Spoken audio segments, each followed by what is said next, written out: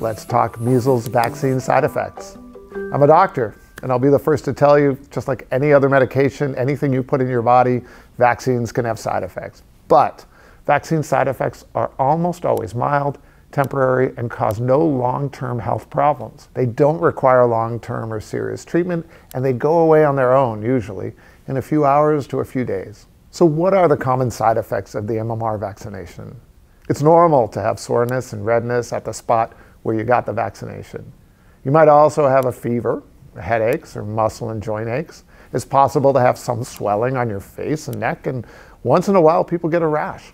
Even though these side effects are no fun, they're not dangerous. They're the signs that the vaccine is actually doing its job, teaching the immune system to recognize and defend your body against an invader.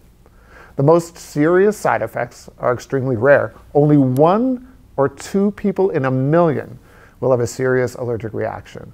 Compare that to the risks from disease of measles, where about 1 in 20 children who get measles will develop pneumonia, the most common cause of measles death. As a doctor, my job is to help families make health decisions that have the least risk and the greatest reward.